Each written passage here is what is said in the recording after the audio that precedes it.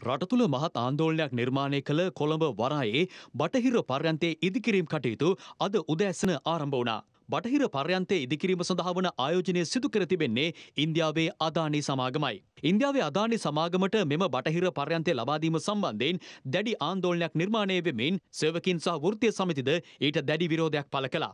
ප්‍රථමයෙන්ම කොළඹවරායේ නැගෙනහිර පර්යන්තය මෙලෙස ඉන්දියාවේ අදානි සමාගමට ලබාදීමට කටයුතු සූදානම් වුවත් දිගින් දිගටම එල්ල වූ විරෝධතා හමුවේ කොළඹ වරායේ බටහිර පර්යන්තය අදානි සමාගමට ලබාදීමට රජය කටයුතු කළා. ඒ අනුව ඉන්දියාවේ අදානි සමාගම විසින් කොළඹ වරායේ බටහිර පර්යන්තය සඳහා ඩොල මිලියන හත්සියක් ආයෝජනය කරමින් එය ඉදිකිරීම සඳහා වන කටයුතු මේ වන විට ආරම්භ කර තිබෙනවා. වසර තුනක් ඇතුළත වරායේ බටහිර පර්යන්තයේ ඉදිකිරීම් නිමවට පත්කිරීමටයි සැලසුම් කර ඇත්තේ. බටහිර පර්යන්තය ඉදිකිරීම් කටයුතු අද පෙරවරුවේ ආරම්භ වුණේ ඉන්දිය මහකොමසාරෙස් ගෝපාල් බග්ලේ සහ විශය බහර අමාත්‍ය නිමල් සිරිපාල්ද සිල්වා ඇතුළු ආරාධිතින්ගේ ප්‍රධානත්වයෙන්.